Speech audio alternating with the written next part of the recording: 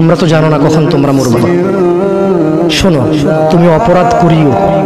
যদি তোমার মনে হয় আল্লাহ তোমাকে দেখে না, তখন করিও। অপরাধ করিও করিও। যদি তোমার মনে হয় আল্লাহ তোমাকে জিজ্ঞেস করবে না, তুমি নিশ্চিত বেঁচে যাবা।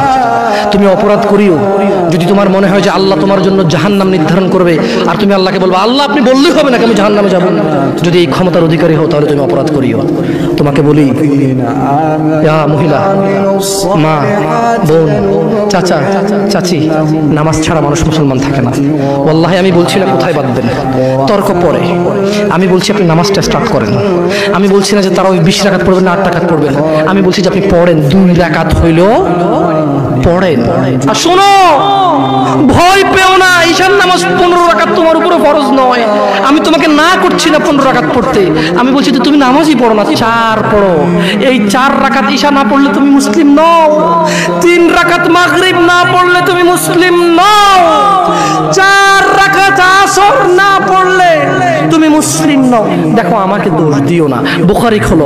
সলাত অধ্যায়ে যাও আজান অধ্যায়ে যাও।